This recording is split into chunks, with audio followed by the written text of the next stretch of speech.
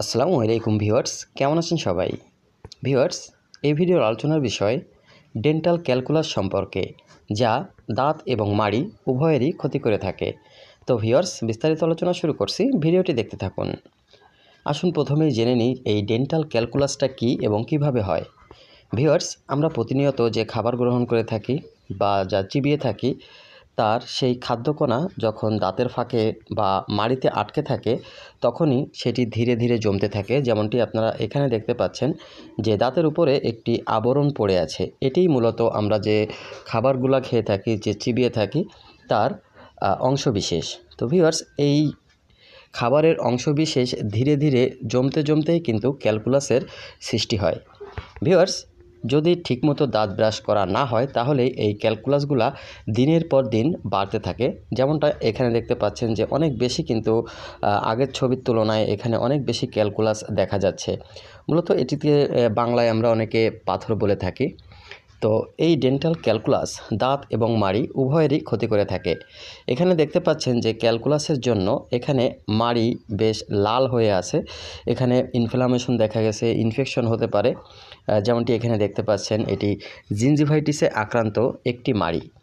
যখন দাঁতে এ ধরনের ক্যালকুলাস থাকে, তখন তা প্রচুর পরিমাণে ব্যাকটেরিয়া বহন করে। সেই ব্যাকটেরিয়ার আক্রমণে মাড়ি এভাবে ফুলে ওঠে এবং জিনজিভাইটিসে আক্রান্ত হয় যার ফলে মাড়ির বিভিন্ন সমস্যায় আহ, আক্রান্ত হতে পারে মাড়ি ফুলে উঠতে পারে মাড়ি থেকে রক্ত আসার সমস্যা হতে পারে শুধুমাত্র এই জিনজিভাইটিস রোগের কারণে। তো ভিওর্স বুঝতেই পারছেন যে আসলে এই ডেন্টাল ক্যালকুলাস কতটা ক্ষতি করে থাকে দাঁত এবং মাড়ির। এখানে যে ছবিটি আপনারা দেখতে পাচ্ছেন দেখুন ক্যালকুলাস কতটা ভয়ানক।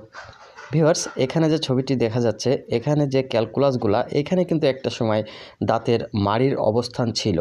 কিন্তু এই ক্যালকুলাস ধীরে ধীরে জমার কারণে দেখেন যে দাঁতের গোড়া থেকে মাড়িটা সরে কোথায় নেমে গেছে। আর যদি দাঁতের গোড়া থেকে মাড়ি এভাবে নিচের দিকে নেমে যায়, তাহলে কিন্তু আপনার দাঁতটি দুর্বল হয়ে যাবে। এছাড়া দাঁত শিরশির সমস্যা তো রয়েছেই। যদি নিচের দাঁতের মাড়িতে এই ধরনের ক্যালকুলাস জমতে থাকে, তাহলে নিচের দাঁতের মাড়ি নিচের দিকে নামিয়ে দেয়।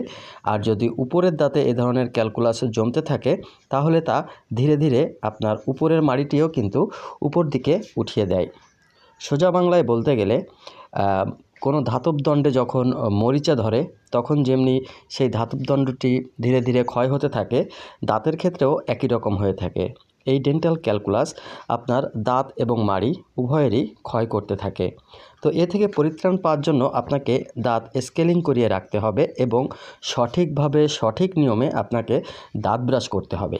যেমনটি এখানে দেখতে পাচ্ছেন যে এটি হলো পূর্বের মুহূর্ত যেটি ক্যালকুলাস যুক্ত দাঁত স্কেলিং করার পরে কিন্তু সেটি পরিষ্কার হয়ে যায়।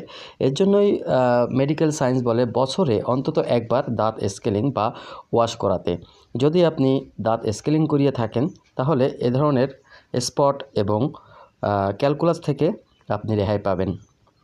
তো যাদের এ ধরনের সমস্যা রয়েছে, তারা স্কেলিং করিয়ে নিন এবং ডাক্তারের পরামর্শ অনুযায়ী বা ইউটিউব ভিডিও দেখে ব্রাশ করার সঠিক নিয়মটি শিখে নিন, তাহলে আপনারা এ ধরনের সমস্যা থেকে সেফ থাকবেন।